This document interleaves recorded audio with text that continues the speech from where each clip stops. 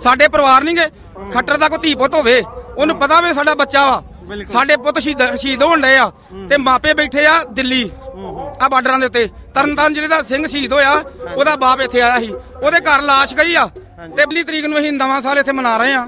ਹੋ ਸਕਦਾ ਵੀ ਜੇ ਸਾਡੀ ਸਿੱਖ ਜੰਦੀ ਵੱਲੋਂ ਹੁਕਮ ਹੋ ਗਿਆ ਤੇ 26 ਜਨਵਰੀ ਜਿਹੜੀ ਆ ਉਹ ਨਵਾਂ ਸਾਲ ਵੀ ਇੱਥੇ ਮਨਾਵਾਂਗੇ। 26 ਜਨਵਰੀ ਦੇ ਵਿੱਚ ਜਿਹੜੀਆਂ ਸਾਡੀਆਂ ਝਾਕੀਆਂ ਦੇ ਵਿੱਚ ਹੇਰਾਫੇਰੀ ਕਰਦਾ ਰਿਹਾ ਨਾ। ਇਹ ਸਾਡੇ ਨੌਜਵਾਨ ਹੁਣ ਤੋਂ ਹੀ ਤਿਆਰ ਕਰ ਦਿੱਤੇ ਆ। ਹਾਂਜੀ। ਨੂੰ ਸਾਡੀਆਂ ਧੀਆਂ ਪੈਣਾ ਫਿਰਦੀਆਂ ਕਿਸੇ ਨੌਜਵਾਨ ਨੇ ਇੰਡੇ ਕੱਠ ਦੇ ਵਿੱਚ ਕਿਸੇ ਨੂੰ ਉਂਗਲ ਕੀਤੀ ਹੋਵੇ ਕੋਈ ਸ਼ਰਾਰਤ ਕੀਤੀ ਹੋਵੇ।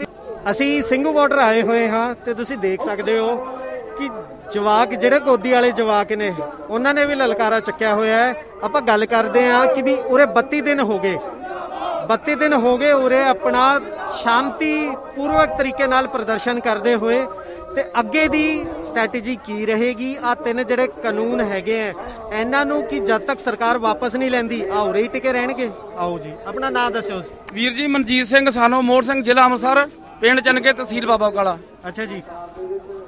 ਤੇ ਤੁਸੀਂ ਕਿੰਨੇ ਦਿਨ ਹੋ ਗਏ ਤੁਹਾਨੂੰ ਉਰੇ ਆਏ ਨੂੰ? ਅਸੀਂ ਵੀਰ ਜੀ 26 ਤਰੀਕ ਤੋਂ ਆਏ ਆ।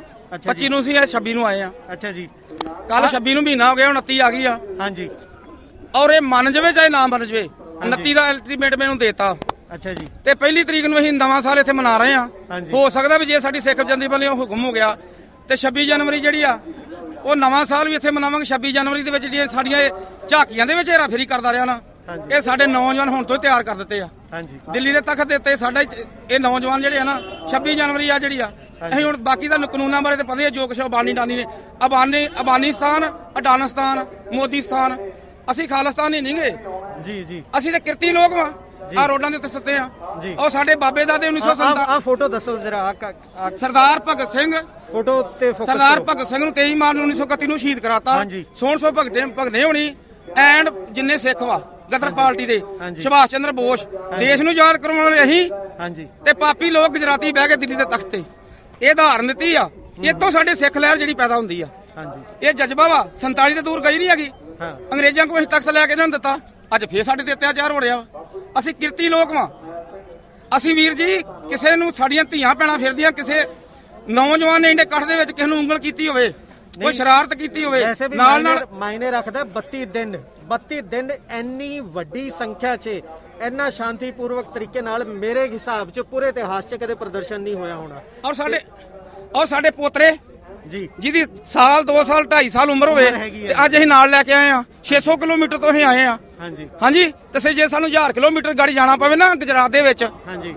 ਸਾਨੂੰ ਕੋਈ ਔਖਾ ਨਹੀਂ ਕਿਉਂਕਿ ਅਸੀਂ ਅਰਦਾਸ ਕਰਕੇ ਤੁਰੇ ਆ ਅਸੀਂ ਪਿੱਛੇ ਨਹੀਂ ਮੁੜਨਾ। ਇੱਕ ਦੋ ਮਹੀਨਾ ਤਿੰਨ ਮਹੀਨਾ 6 ਮਹੀਨੇ ਨਹੀਂ ਮੰਨੇ ਫਿਰ? ਵੀਰ ਜੀ ਅਸੀਂ ਪਹਿਲੀ ਨਵੇਂ ਸਾਲ ਦੇ ਵਿੱਚ ਤੁਹਾਨੂੰ 26 ਤੋਂ ਪਹਿਲਾਂ ਮਨਾ ਕੇ ਦੱਸਦੇ ਤਰ੍ਹਾਂ ਦੇ ਮੰਨਣਾ। ਅੱਛਾ ਜੀ। ਇਹ ਹੁਣ ਸਾਡੇ ਫਾਰਮੂਲੇ ਵੇਖਿਓ। ਠੀਕ ਹੈ ਜੀ ਗੱਲ? ਜੀ ਜੀ ਜੀ। ਇਹ ਪਹਿਲੀ ਤੋਂ ਬਾਅਦ ਤੁਸੀਂ ਵੇਖਿਓ ਹੁਣ। ਠੀਕ ਹੈ ਇਹਨੇ 29 ਦਾ ਅਲਟੀਮੇਟਮ ਦਿੱਤਾ ਮੰਨ ਜੇ ਤਾਂ ਠੀਕ ਆ। ਵੇਖਿਓ ਹੁਣ ਤੁਸੀਂ ਮੰਨਦਾ ਕਿਸ ਤਰ੍ਹਾਂ। ਅਸੀਂ ਐਵੇਂ ਨਹੀਂ ਬਿਆਨ ਦੇ ਰਹੇ।